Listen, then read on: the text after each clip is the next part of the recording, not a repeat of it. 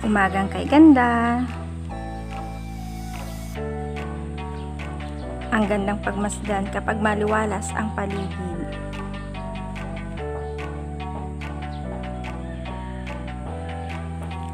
Payapa ang tubig. Malamig ang simoy ng hangin.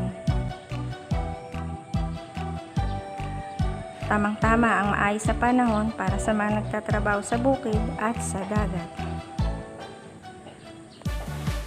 Nakaka-proud po ang kanilang sikap, sipag sa trabaho. Hindi nila alintana ang init at hapdi sa balat na kanilang nararamdaman.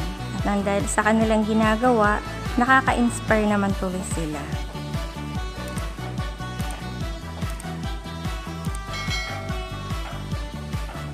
Thank you for watching. See you in my next vlog. God bless.